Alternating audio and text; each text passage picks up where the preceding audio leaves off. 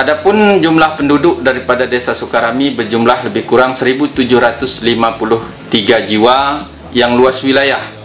Desa Sukarami mencapai 18.700 meter persegi yang geografisnya berupa perbukitan dan mayoritas petani dari desa ini adalah petani kopi, lada, gula aren, dan sawah.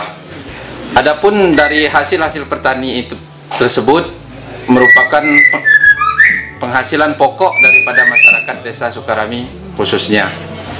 Dan bagi pengembangan untuk program inovasi desa kami coba kembangkan gula aren khususnya yang merupakan salah satu produk unggulan daripada masyarakat ini yang mana selama ini gula aren itu hanya dijual di pasar-pasar tradisional namun dengan adanya program inovasi desa ini kami kembangkan dan kami kemas sedemikian rupa sehingga dapat bernilai jual tinggi dan higienis bagi masyarakat dan bisa masuk pasar-pasar modern contohnya seperti eh, 212 mat dan lain sebagainya.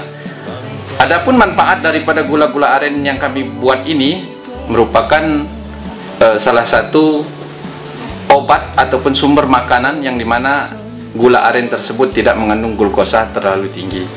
Selaku pengelola gula aren serbuk, dulu aren gula aren di desa kami masih berupa gula cetak yang dijual ke pasaran-pasaran tradisional. Kemudian berkat ide program inovasi desa pemerintah desa melalui kepala desa merubah gula aren cetak menjadi gula merah bubuk. Kami membawa satu bambu. Ada yang berupa satu ruas, ada yang lebih dari satu ruas. Itu dibawa dari pondok atau dari rumah ke pohon aren. Uh, sampai di sana dinaik setelah dinaik itu karena aren itu mempunyai batang atau leher maka dalam hal itu ya dipotong sedikit eh, itu tergantung dengan air yang turun.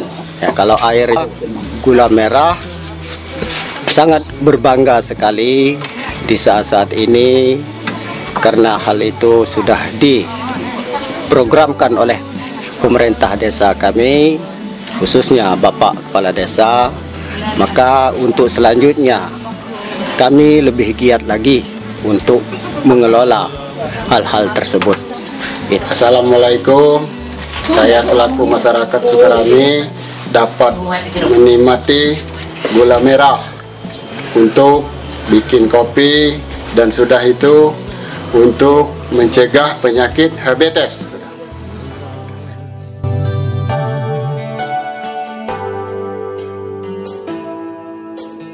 Música